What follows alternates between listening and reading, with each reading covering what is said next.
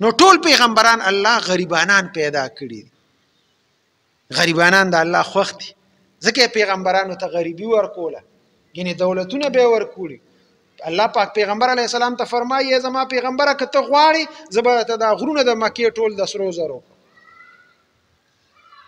خو پیغمبر علیه الصلاۃ والسلام وته فرمایل یا رب العالمین زما دا ډیره خوخه ده چې زه یو ټیم روټه اخرم پاغي باندې د الله شکر ادا کوم او دویم ټیم اونخرم زه پاغي باندې صبر وک دا ماته ډیره زیاته خوخه نو چې یو سړی غریب وي او په خپل غریبې باندې صبر کوي حضرت جبرائیل فرمایل دا سړی زما ډیر زیات خوخ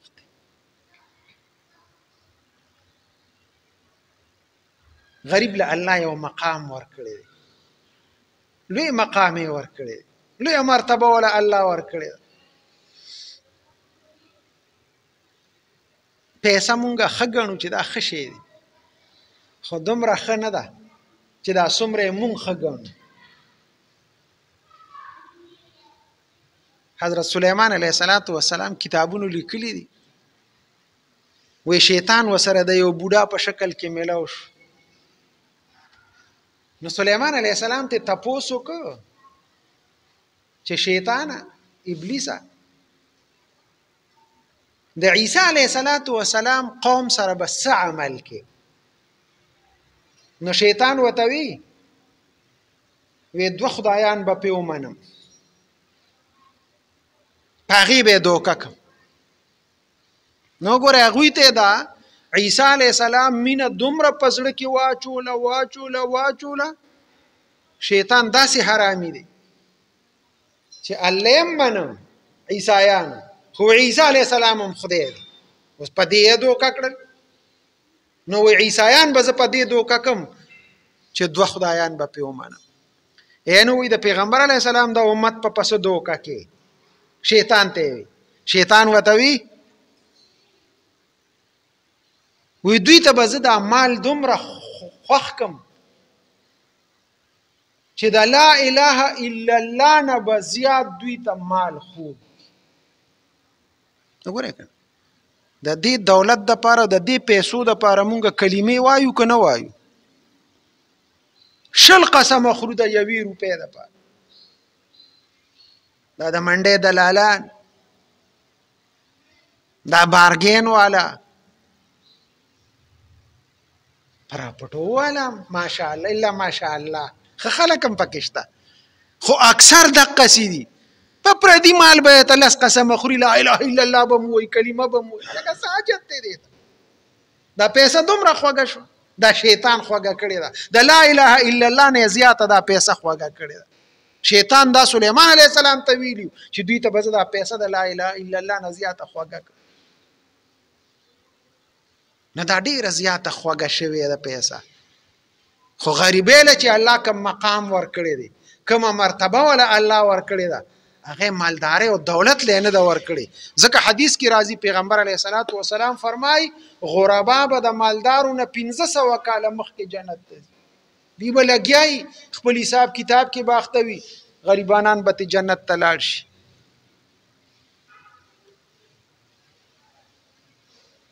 او د قیامت په ورځ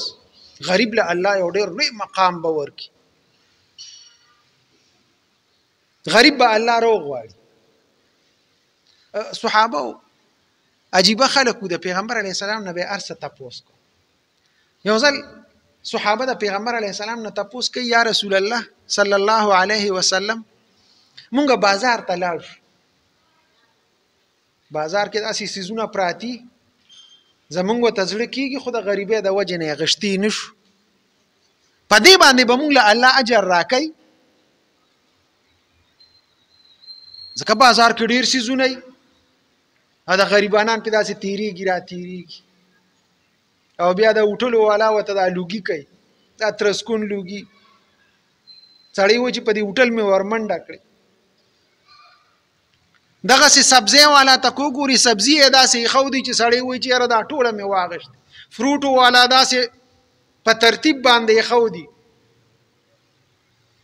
نو مالدار سره خو جیب کې پیسې وي خو په ورش او غریب وتا سي بار ولاړی ګوري وته نو یا رسول الله په دې بل موږ له اجر راکې که به نه راکې پیغمبر علیه الصلاۃ والسلام متو فرمایل چې دا تاسو په دغه خپل غریبې په دقه ټیم کې صبر وکې چې یا الله تا غریب پیدا کړیم چې دا نشه مغشتي خدای زما ستا په دې فیصله باندې صبر دی نو وای چې دا صبر ته وکي وای دا د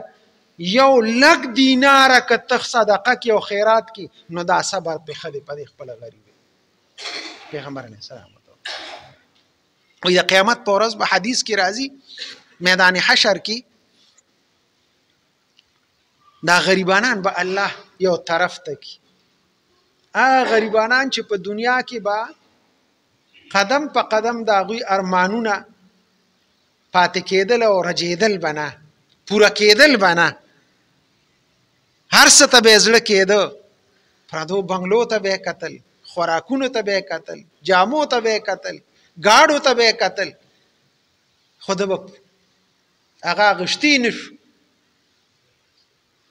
نو قیامت پر ورځ به الله رو غواړي دغه غریبانان او الله پاک په تو فرمایي اے غریبانان زما دی په خپل شان او په خپل عزت قسم یې ګوري ما په دنیا کې تاسو ذلیل کول نه زما مقصد ذلیل کول نو چې زه تاسو ذلیل کوم خو تاسو له ما یو مرتبه او یو درجه په آخرت کې ساتلې و نو ما وی چې دغه مرتبه در درکم نو دا تا په عمل نشو حاصلولې دا خدای شان دی دا غریب سړی چې وی دی عبادت هم عبادت ته املا ماتي عبادت هم نشي کولی که بازار کې سودا نشي کول نو جمعات تم نشي را دننه کېدی جمعات هم ورته بو بلغ کوي په کار خدا و چې د هلکه کار دی نشته روزګار دی نشته نور څه نشته نو چې په بازار کې ګرځي خو راشه جمعات ته راشه که نه جمعات کې مونځ وکړه عبادت وکړه نه جمعات ته هم لا ماتی تلاوت ته هم لا ماتی اوس په عمل باندې خو هغه مرتبه وته الله ورکول نه شوي نو بس دلته د دنیا نه الله ارمانی ارمانی بوته او په دنیا کې قدم په قدم د د یو یو ارمان هغه به د پزړه پاتې کېده نو الله ولا په آخرت کې مرتبه ورکي الله وای اے غریب ما ته ذلیل کول نه ستا ذلت می غرض نو لاشه او دا د صفونه ولاړ دي د خلکو په دې صفونو کې وګرځه حدیث کې راځي پیغمبر علی السلام فرمایي دغه صفونو کې میدان حشر کې به خلک د خولو کې خپل خولو کې تر دې دې زې پوري ډوب بعض خلکو با وې دې زې پوري دا خولې را رسیدلی دا سرونه به داسې اوچت وي ورشه دغه صفونو کې وګرځه او په دنیا کې چې چا تا سره خېګړه او احسان کړی دی تاله چا یو جوړه جامې درکړي دي تاله چا یو نوړې روټه درکړي و ته بیمار وې ستا بچی بیمار او هغه سره د دوی امداد کړي دي دغه څه چې دی په دنیا په دې صفونو کې وګوره چې تا چا د سره احسان او خېګړه کړې ده هغه ټول ځان سره د دې صفونو نه وباسه او ټول ځان سره جنت ته بوځه غریب له دا مقام وای دا مالدار مالدار به په آخرت کې ارمانو کې چې کاش چې مونږ هم د دوی په شان د غربت وخت تیر کړي چې مونږ سره هم دا دولت نه وي چې نن دغه مرتبه الله مونږ لم را کړي نو عزتمن د غربت غریبي فقر چې څوک په صبر وکړي دا ډیره لویه مرتبه ده الله په لویه مرتبه ورکړي حضرت جبرئیل علیه السلام پیغمبر علی السلام مجلس کې دا درې خبرې وکړې یا رسول الله زمام درې سيزونه خوختي یو خو چې رکو ته لار خیم چې چانه لار رو کشوي زه وته لارو خیم دا مې ډیره خوخه ده او بل چې عیالدار او د بچو خاوند وي او غریب وي هغه چې دینو وس یې نه کېږي، هغه سره زما ډېره زیاته مینه ده او بل درېیم چې دی فقیر وي او غریب وي او دی په دې خپله غریبۍ او فقر باندې صبر کوي نو دا مې ډېر زیات خوښ او حضرت جبريل پیغمبر علیه السلام ته وی جبرائیل امین پیغمبر علی السلام ته فرمایل اے یا رسول الله الله را ته اوم یو پیغام را کړی دی ستاسو هم دا درې درې سیزونه خوښتي زمام دا درې سیزونه خوښتي الله وی لاړ شه دنیا ته او چې پیغمبر علی السلام مجلس کې دا خبره وکړه چې زمام یو درې سیزونه خوښتي الله پاک په خپل شان لایق سره او فرمایل زمام یو درې سیزونه خوښتي یو خدا ده چې څوک په خپل لوګ او تند باندې صبر کوي دا بنده مې ډېر زیات خوښ دی او بل چې په نیکو کې سبقت کوي وړاندېوالی کوي د یو بل نه مخکې کیږي الله وایي دا بنده مې ډېر زیات خوښ دی او دریم چې په ګناهونو باندې یو سړی ګناه وکي او په خپل ګناه باندې خپېمانتیا وکي چې الله زه په دې باندې خپېمانه او توبه وباسي دغه بنده زما ډیر زیات خوښ دی ان شاء الله په دې باندې بر روانې جمعې له خبره کو الله دې موږ ټول له عمل کولو توفیق راکړي اللهم صل علی محمد وعلى ال محمد كما صليت على ابراهيم وعلى ال ابراهيم انك حميد مجيد دا څومره مسائل بیان شو الله دې په دا عمل کولو توفیق راکړي پیغمبر علی السلام سنت طریقې دی الله زموږ جون کې راولي بدعات او رسومات نه دی الله زموږ حفاظت وکړي مردگان د اهل اسلام دی الله وبخي بیمارانو ته دی الله شفا ورکړي حاضر جمع کې څوک بیماران دی الله ټول شفا ورکړي زموږ ټول شری حاجات دی الله پوره وګرځي صلی الله تعالی سنت کوي خدای